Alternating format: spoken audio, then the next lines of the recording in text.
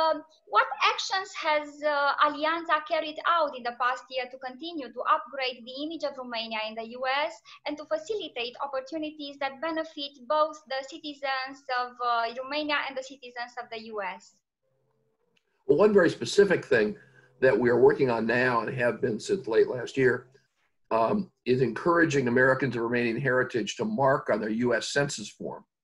their Romanian heritage. Uh, there's a 10 year census in the United States, as there is in Romania and other countries. And there's a question, it's question nine on the uh, census questionnaire that asks you, What is your country of origin? And some people fill that in, some people don't fill that in. And Alianta felt it would be good, important to maximize the number of people who have Romanian heritage, even if it's, you know, one grandmother, one grandfather. Maybe, you know, their their um, other parent or other grandparent comes from other countries, that's fine. But if you have some Romanian heritage, we put together a social media campaign, which we've gotten a great response to,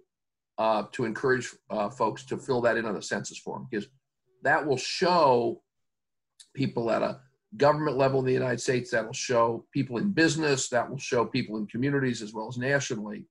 A, that there are a lot of Americans of Romanian heritage,